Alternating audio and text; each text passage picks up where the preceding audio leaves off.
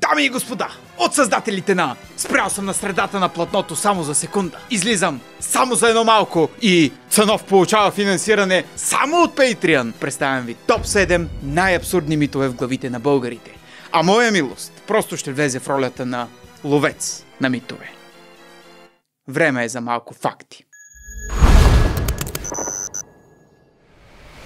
За да има хигиена за вашите уши и да не чувате две до болка познати имена, кратка легенда на епизода.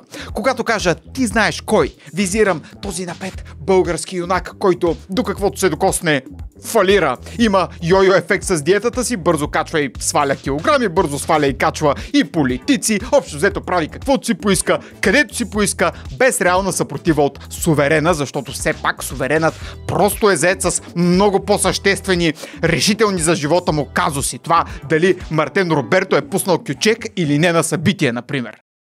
Когато кажа ти знаеш кой две, визирам друг култов роден герой, който е в ролята на адютант на ти знаеш кой, държи му пелерината и му прави вятър, даже дори продължава да печели избори, ма пак седем пъти подред не ще и не ще да направи правителство с ти знаеш кой, за да не излезе наяве кой на чи стан таче. Нали? Ма голям свенливко. Ей, са такова в алегориите и аз. Обратно към митовете, ич няма да задълбавам в битово-зарзаватски примери, като ние българите пием най-много, ние българите имаме най-вкусните домати или ние българите е най-мощно.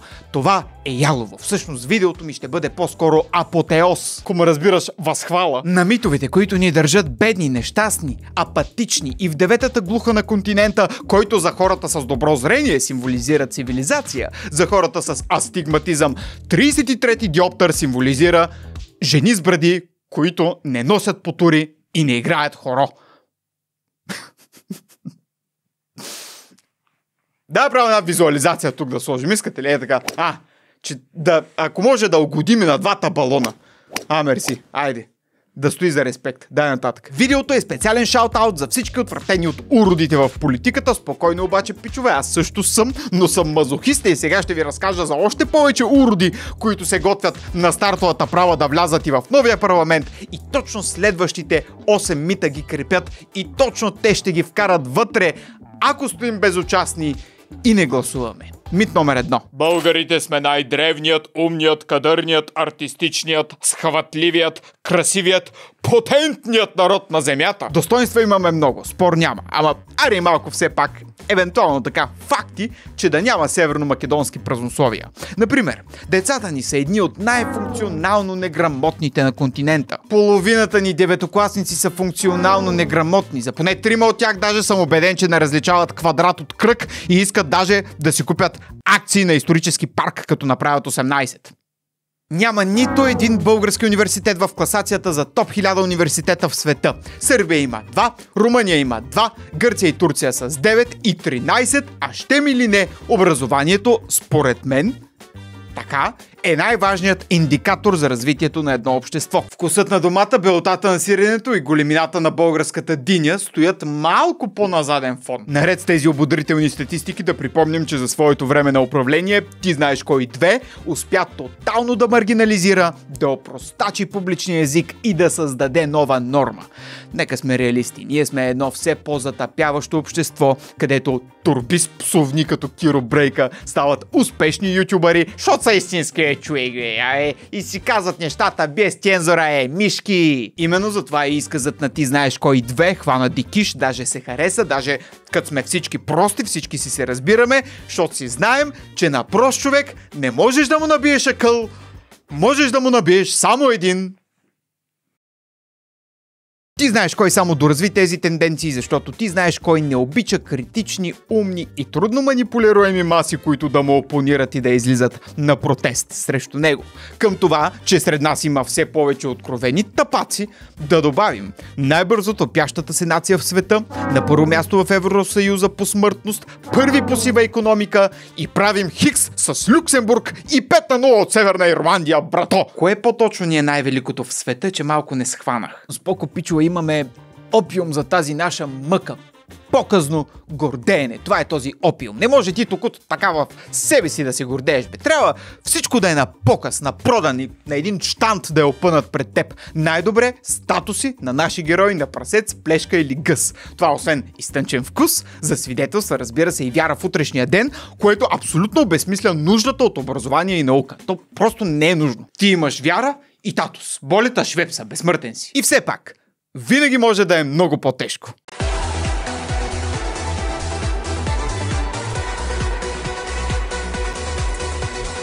Stop it.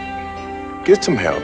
Шкембе патриотизмът избоява като плевел в съзнанието на някои по-скромни мисловно сънародници. Моят първенец е Фейсбук групата Златна България, чието видеа повече напомнят на скетч, отколкото на нещо резонно. 10 интересни факта за България, които ще ви накарат да се гордеете, че сте българи. Да, България е с най-древната религия в света, дори в момента. да, да, да, ес, бе!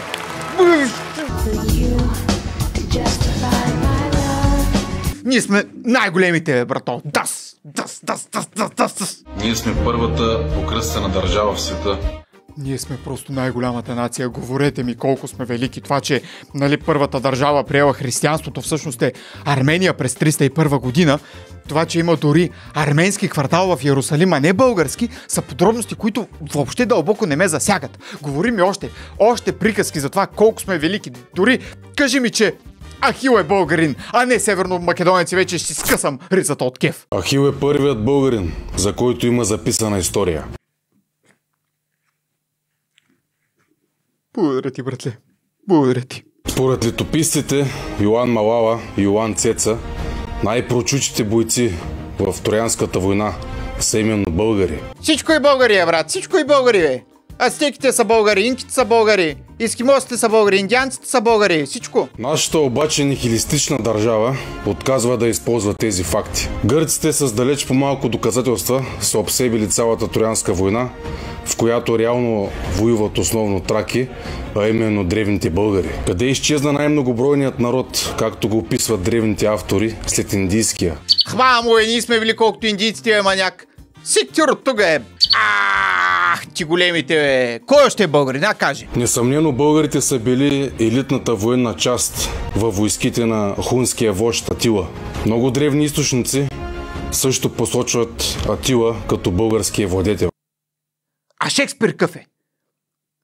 От утракане, нали? Време е българите да издигнем един голям паметник на най-древният българин, записан в историята – Ахил. Да, да. И на Орфей, и на Херкулес, и на Аменхотеп. Ей, тия тримата бележити българи искам да ме гледат от ректората на Софийския университет. Мани ги, мани ги другите, какви бяха там? Евлоги, Христо и... Абе, те си имат булевар, бе, беги от тук. Излишно е да казвам, че цялата страница на Златна България през примерите за това как Ахил и някой друг фараон са българи, бълват екстремно потлерофилство, соцносталгия по вкуса на домата и малко КГБ опорки за вкус джендери, пропаднал запад, бла бла бла бла бла. Подобни глупости минават метър не само заради руската пропаганда, но и за това, че ти знаеш кой умело изпразни от съдържание думата евроатлантизъм. Направи я мъртва, употребена, безполезна, нелепа. Точно както Фейсбук групата Златна България изпразва от смисъл думата родолюбие. Шкембе патриотизмът официално се легитимира и във властта от ти знаеш кой две след коалицията му с Шкембе води. Така че подобни девиантни образи в интернет са едно логично продължение. От много викане на България над всичко обаче, тако виж, сме останали без медали от Олимпиадата. Така че, айде малко по-малко България над всичко и повече България на всички. Без ти знаеш кой ти знаеш кой две. Ако може. За да можем да се поправим и да вървим нагоре, на първо място трябва да допуснем, че светът не започва и не свършва с нас. Трябва да се изправим срещу тази психологическа травма за малоценност, закодирана в гените ни от освободители и поробители от полумесеци и кръстове. И стига по течението, моля ви, просто стига по това течение на Най-древният българин, записан в историята – Ахил. За какво лъжеш хората, бе? много повече, можем гаранция. По цял свят има корупция, бе. Това не е най-малкият проблем. Ови, Всъщност корупцията е най-големият бич за народа ни, защото тя развръщава, покварява и набива още и още митове в изстрадалата от реалити формати глава на българския суверен, а тези митове ги чувате на ежедневна база в метрото, в НАП, на пазара, тук е така. Тук инак не става. Кой ти пука? Всеки краде. Далеч не оправдавам склонните на подкуп са народници, но отчасти разбирам защо се гледа на корупцията като на нещо естествено. Когато санкционираният по магнитски ти знаеш кой си прави каквото си поиска, без абсолютно никакво понасене на наказателна отговорност, как хората надолу да си кажат Абе, виж е цялата държава, бе, аз да не съм бълък тук да не взема като ми предлагат. Българският зелгений е установил, че може да се открадне от всякъде, напоследък ставаме дори все по-добри и в кражбите от култура, но си има един еталон и образец за най-ювелирно избацване на съгражданите ти. Кражбите от пътища и санирания. Там най-лесно можеш да прикриеш своята кражба за кратко или поне за няколко месеца, докато не зейнат дупки по пътя или докато панели от саниран блок не започнат да ти падат на главата. Корупцията убива. Буквално. И тук митът, крадат, ама поне правят нещо, просто не работи. Тази година, при проверка на хрватската компания Contech, които идват да изследват състоянието на северната скорост на тангента на София, е установена липса на няколко сантиметра слой от настилката. Проверката установява разминаване между дебелината на пътната настилка по проект и в действителност. На място бяха взети и допълнителни проби за лабораторно тестване, а резултатите им ще бъдат готови след две седмици. По проект трябва да бъде 20 см. Първо чудощо е, че е само 20 по проект. Знаете, че другите магистрали са 28 и 30. Това, което виждате в момента е 14 см. Тоест от 20 см липсва една трета. Изграденото при управлението на ти знаеш кой две без преувеличение застрашава животи. Що? Що ли? Ми, Защото някой е сгънал едни пари да си затвори очите, че се слагат 15 см на стилка, а не 20. Абе, крадат, ама поне правят нещо, бе. Джендър. Най-вероятно в хората, които биха казали това, отсъства какъвто и да е усет към красивото, справедливото и най-вероятно същите нареждат плочките в банята си така. И така. И така. Ремонт на ремонта на ремонта на ремонта на ремонта на ремонта. Да ви кажа честно на хората, които не ги дразнят подобни фамозни кражби, аз наистина не искам да им влизам в дома. Тя на дивана си в хола най-вероятно ще имат екскременти от домашния любимец, за които те ще казват Абе серия, ама поне прави нещо. Носи уют. Друга култова кражба и сигнал за гигантска корупция е случаят с строежа на магистрала Хемус и това как по време на управлението на Ти знаеш кой две, МВР установи, че десетки милиони евра са изнесени в чували, кеш. Всичките 60 милиона са били изтеглени, забележете, още в деня на тяхното постъпване.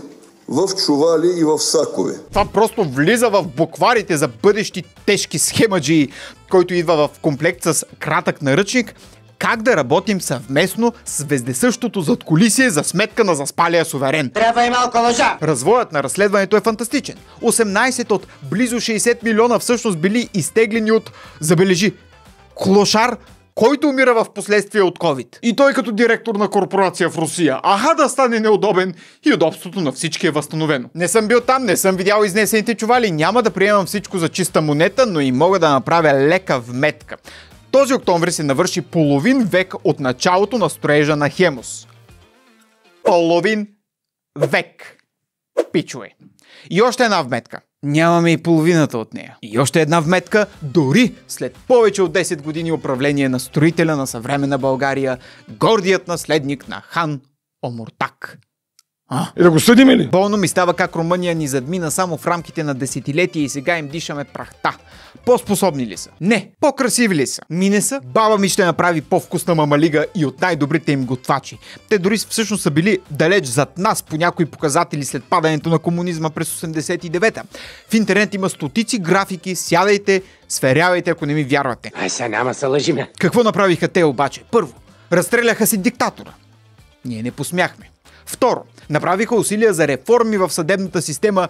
Ние и това не посмяхме. Европейският главен прокурор румънката Лаура Кьовеши излови и изповкара в затворите им техни министри, депутати.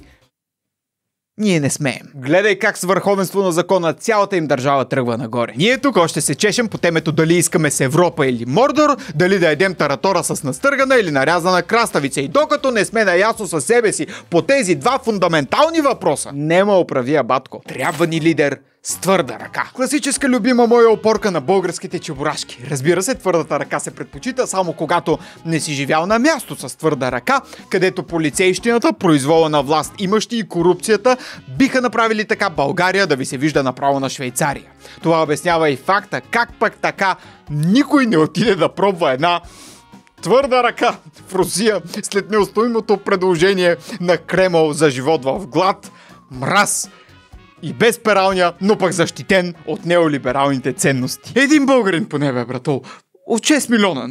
Един, един. Нема и нема. Твърдата ръка е погрешно разчетена като законност и справедливост. Всъщност тя е чиста проба лишаване от свободи и граждански права, лишаване от нормалност. Диктатурата, a.k.a. твърдата ръка, се представя в пъти по-зле от либералната демокрация, по редица направления. Слушайте сега. Корупция. Разбира се, че корупцията няма как да се измери никъде, защото е корупция и очевидно е тайна, но пък за това от Transparency International са измислили друга величина. Индексът за възприятие на корупцията. По него в челните места с най-добро представяне, видиш ли, отново са най-развитите, богати и уредени страни в света. Дания, Финландия, Нова Зеландия, Норвегия, все либерални демокрации. Сомалия, Венецуела и Сирия са в дъното. Няма да ви казвам доколко демократични са. Те вече се сещате. България е на 67-мо място, предпоследна в Евросъюза. Да не повярваш, не сме последни, а последни са... Внимавай, внимавай! Унгария! Твърдата ръка на Орбан всъщност твърдо прави лява ръка десен джоб. Човекът е строг, но справедлив. А къде е Мада Раша, скъпи приятели, нашите пазители от прогнилия запад? А, Русия е на 141 място от 180 възможни. Ще задам риторичен въпрос. Да се стремим да сме като Дания, Финландия, Нова Зеландия и Норвегия или като Сомалия, Венецуела, Сирия и Мада Раша. Нула пропаганда. Само факти. Свобода на словото. У нас има толкова много уроди мнения и гледни точки по телевизията и в интернет, защото имаме свобода на словото, вика му се плурализъм. Твърдата ръка гарантира, че има само една гледна точка. Тази на властта. Нито ти Жечев, нито ти Есен Генов, има само петилетки и работническо дело. Индексът за свобода на пресата на френската неправителствена организация Репортери без граници поставя в челна класация отново, видиш ли, най-богатите и уредени страни в света. Най-либералните демокрации Норвегия, Дания, Швеция, Нидерландия. На последно място, респективно е Ада на земята. Еритрея, Сирия, Афганистан, Северна Корея. Мадър Раша е на 162 място, цели 15 места по-нагоре от Афганистан. Моля, моля. Не благодаря. Ако мога да попитам отново риторично. България като Норвегия, Дания, Швеция или България като Северна Корея, Афганистан и Русия. Нула пропаганда. Само факти. Родината ни е на 59-то място към 2024 заради целенасочените усилия на Ти знаеш кой и Ти знаеш кой 2. Неодавна бяхме и на 111-то място заради дългогодишното управление на Ти знаеш кой 2, но в последствие Ти знаеш кой му прибра перките, наби му канчето и даде ново начало. В отношенията им.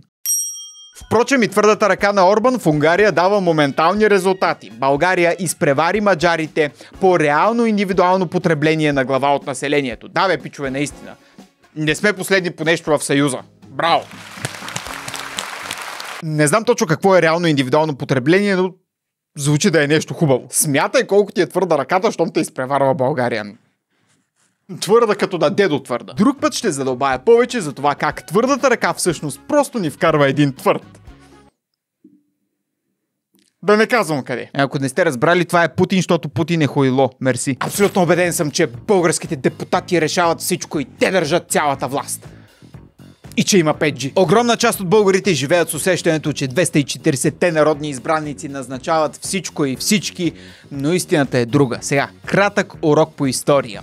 След падането на режима през 89-та комунистическата номенклатура успява да запази влиянието си в държавата и да направи така фасадно да наподобяваме демокрация по западен образец. Да си имаме една официална власт, но на практика обаче те да останат кукловоди, част от които дори не знаем как изглеждат. Слушайте сега внимателно, за някой може и да е сложно, за мен поне беше. Има пет колони на държавното управление.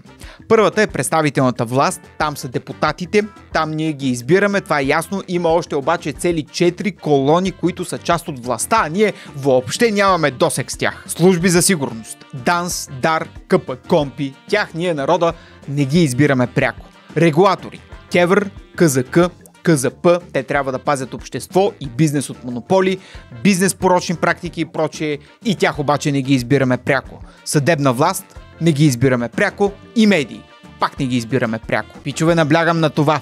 За ръководителите на тези органи никой не гласува на избори. Ние, граждани, селяни, джендари, чебурашки, нямаме никакъв досек с тях. Никакъв. На теория това е официалната власт и тя е независима. На практика всичко е при ти знаеш кой. Положението може да се опише с една дума и много нейни производни. Хуевая охуенно, ребят. Да охуение хуярю. Хуйнусь хуевыми хуями. Хуева хуйня, нахуярясь, хуйни да хуя нахуярила. Нахуя? Расхуяривай нахуй. Ахуя. Хуй охуея хуйнет в хуяярищу. Хуйные хуевцы отхуярят хуйностью хуйше хуяри на хуйник. И ето сега колко просто ни управляват кукловодите. За хората на ключови позиции в регулатори и служби, а дори и някои депутати, които, както разбрахме, трябва да пазят обществото, в прокуратурата често има папка.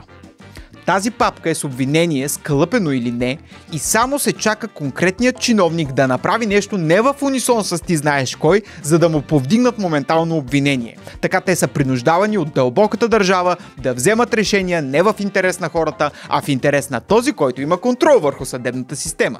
Ти знаеш кой. Сега какво означава това? Това означава страхливост. С две думи, който държи съда и прокуратурата, той всява страх в регулатори, служби, командва парада и извива ръце. Хуйнусь хуевыми хуями. Хуева хуйня. Ако някой се опълчи, оп, айде папчица с обвинение, айде. Ахуевая охуенно. И какво излезе сега? Част от тия 240 всъщност не могат да мръднат. Част от тях ги чака папка в прокуратурата и са ги хванали за топките. Реални действия обаче може да има, ако се появи партия с мнозинство, която има смелостта да реформира съдебната ни система, за да може най-накрая да се здобием с демокрация по западен образец, а не фасадна такава, че сега нашата е Разхуйных хуйбистов. рейдж куитвам и хващам някоя благородна професия далеч от грехопаденията. Ставам шофьор на компаньонки като Бати Велин. Гледах едно негово видео. Той казва, аз бях шофьор на компаньонки. Това вярно ли? е? Бяхте ли шофьор на компаньонки? Разбира се, да. След насилието над Бати Велин, малко изнасилване на Костя в национален ефир за отпускане на напрежението от това в какъв батак сме и продължаваме с МИТ 5. Стоеността на 50 рубли обаче не е като на тези 5 евро. 50 нещо, рубли са един лев. Нещо повече. Грубо един лев. Да. Чакайте сега, че малко в повече идва. Така. Това са още едни 50 рубли. И сега ще продължим. Продължаваме. 100 рубли, 200 рубли, 300 рубли, 400 рубли. Общо 500. 500 рубли. Така. Има още място даже за копейки, ама не ги взех. То копейки, доколкото знам, вече няма. Да, е, да. Така. И? и копейките свършиха. Значи това са И? 5 евро, Които са 500 равни на- рубли. Да. И? Да, 10 ля. И? И вие казвате, че тук, където има 500 рубли е това ветрилце, ще бъде по-добре за българите, отколкото там, където и вашите избиратели ходят.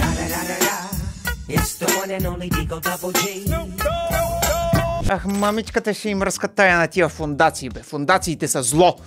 Да горят всички там НПО-та чужди. Това са чуждестранни агенти, които промиват мозъците ни. Поредната КГБ опорка, която служи единствено да ни отслаби и го прави отлично. Неправителствените организации се занимават само с такива застрашителни дейности, като социално приобщаване, благотворителност, хуманитарна помощ, научни изследвания, защита на човешки права, околна среда. Както се досещате, тези теми не са топ приоритет на мафиотската ни държава, съответно НПО-тата се борят за безвъзмезни финансирания, популярни като грантове. Грантове идват както от европейски държави, така и от янките, така и от много други. КГБ обаче е инструктирало така. Дорогой товарищ Костя, сега налагаме наратив, грантаджия и ета мръсна дума.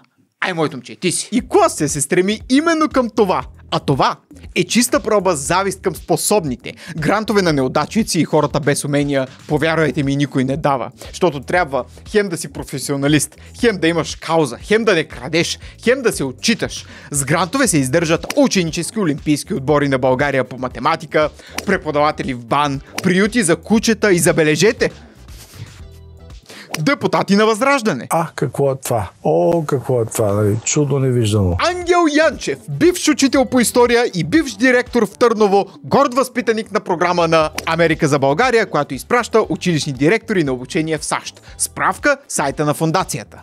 Абе, ачка, бе, тъй като стане, моето момче. Една работа имаше. Една работа имаше. Съпругата на Костя също е вземала грантове. Велина Костадинова е в управителния съвет на НПО-то образователна общност Варна, която печели конкурс за обучение на учители. Финансирането осигурено по програма за социална отговорност на Лидъл, което е чуждестранна компания, чрез работилница за граждански инициативи. Последния да затвори вратата. Това пък обаче е фундация в партньорство с институт Отворено общество на Байти Сорос. Ко стана ся? Вакцинираните антиваксери, които са против еврото с влогове в евро, говорят против фундациите, след като са получавали грантове от тях. Удари ма щук, не мога повече. Огромни са. Огромни, гиганти, гиганти! Волгин пък е участвал в Чендър проект, финансиран от Сорос преди години. А, не мога, брат, повече, честно. Великани, Титани! А сега сериозно. Голямата слабост на западните демокрации е, че именно защото са демокрации и свободни държави, те вярват в прозрачността, играят по правилата и оповестяват своите дарения. Затова всякакво финансиране от фундации и дори кандидатстване по европроекти или каквото и да е друго субсидиране се огласява и даже, даже то се популяризира. Подписват се договори, води се счетоводство, слагат се големи табели по интернет сайтове, Путин падна. По сайтове, площади, села и паланки. От другата страна имаме Кремъл. Купуване на килограм на влогари, журналисти и обществени личности в цяла Европа. С пари в плик и под бюро. Ми като си накани не можеш да си признаеш за какво си дал пари. Поне си мълчи, човек. Поне не изливай помия по тия, дето имат топки да излязат и да кажат да, аз дадох пари за това, аз вярвам в еди коя си кауза. Това е то мощта на КГБ. Накараха ни да се хапем кой бил джендър, кой чущ агент, докато си разделим обществото на съставни части. Мит 6. Ами тук в България нищо не става. Толкова си можем. Всичко е загубено. Няма смисъл от нищо. Най-опасната черта от народопсихологията ни безспорно е нашето константно самосаботиране и пораженчество. 5 века османско робство и 45 години комунистическо такова си дават резултат. Този мит, че у нас нищо не върви, води до повсеместна летаргия, за която още дядо Вазов е алармирал. Бъди герой пословичен и чуден. Разбивай спънките в живота труден. От камък има и воля в този час. От стомана обятията, но теб пак ще те разби у нас апатията. Обичаме си ние съществените и екзистенциалните въпроси и обръщаме внимание не толкова на посланията му, колкото на това дали Вазов е починал по време на полуфакт с млада дама кортизантка. Нали, нас това ни вълнува, общо взето. Ще го кажа, защото толкова си мога и нямам възпитание. Ако това е вярно, пукнал си е човека от кеф. Не те е срам! Ето това ни разбива и 140 години по-късно. Апатията.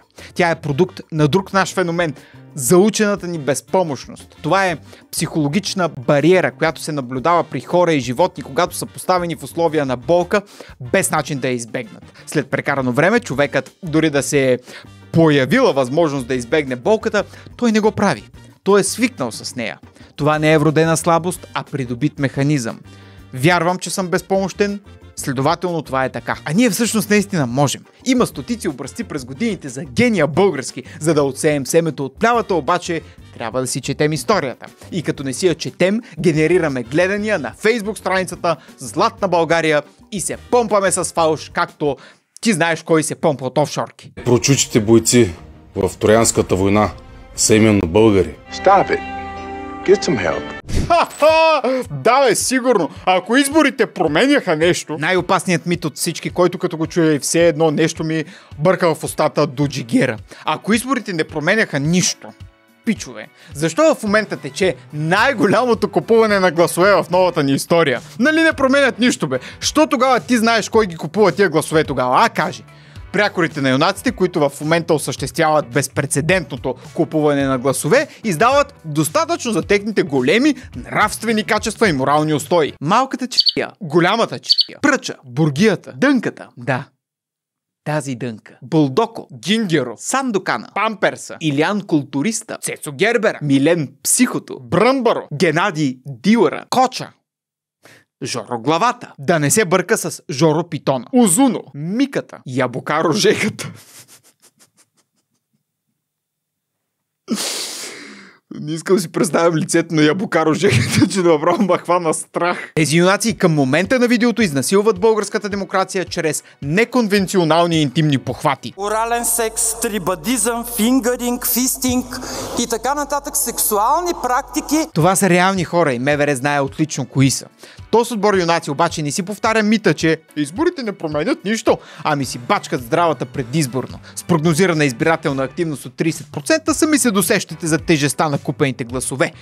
Да благодарим на тези здрави мъжаги, пазители на честността на вота, които най-често изглеждат така. Нали, казвам, че изглеждат така, а не че са те. Тези до един ги познавам и са много свестни момчета, винаги поздравяват.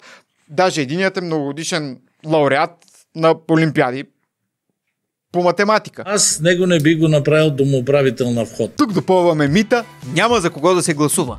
Ако кандидатите ги гледаш като булки, дето ще си ги вземаш до края на живота в къщата, да, най-вероятно няма. Ама нека да бъдем малко по-снисходителни, бе, пичове. Те толкова си могат. Какво да направим? Харесай си поне един. Един си хареса и заплюй си го и започни да го гледаш. Какво говори? За какво се бори? Има ли, няма ли кауза? Па накрая дай глас за него.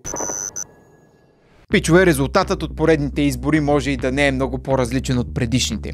Ти знаеш кой, ти знаеш кой две, най-вероятно ще останат още дълго време този препани камък, който ни лишава от възможността да живеем като модерни и свободни млади хора. Аз обаче знам едно. Все още мога да избирам няма да се колебая дали да отида да гласувам или не. И не, че нямам поводи да съм обиден, апатичен, сърдит или непредставен. Имам. И те искат да засилят тези чувства в мен, за да не отида. И за да може техният купен вод да тежи повече. Ще отида. И още как. Да гласуваш, за да може тия, дето купуват гласове, да са по-малко представени в парламента. Можеш ли да си представиш докъде сме стигнали? Тежка извратеност е това, ама няма как. Свободата не е безплатна. И ако мен не слушате, чуйте поне големия българин, с когото имахме честа да сме съвременници. Кирил Маричков. Българинът много обича някой друг да му е виновен за всичко. Ядски мрази да има собствена отговорност и право на избор. Предпочитаме някой друг да избира вместо нас и се чувстваме много неуютно и некомфортно, когато сами трябва да взимаме решенията. Защото тогава няма кого да плюем. Великаните са там, за да ни покажат пътя. Само трябва да отворим очи. Аз съм Чефо, това е каналът ми Чефо, смисъл има. Чао! Ако това видео ви е харесало, станете редовен дарител на канала в Patreon или просто член на канала в YouTube с бутона Join. Подобни клипове изискват сериозна подготовка и инвестиция от време. Вярвам, че има смислени хора, с които гледаме в една посока, които осъзнават важността да се поднасят факти, а не внушения. Този канал ще продължи да се бори срещу морето от пропаганда. Благодаря.